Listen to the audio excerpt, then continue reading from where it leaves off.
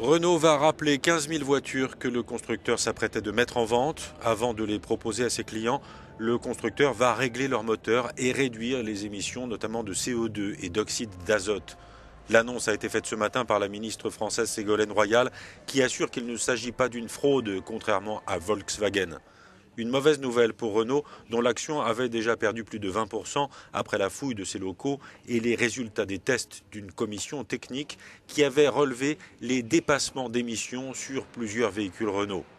Le constructeur français n'a pour l'instant ni confirmé le rappel des 15 000 véhicules, ni précisé de quel modèle il s'agit.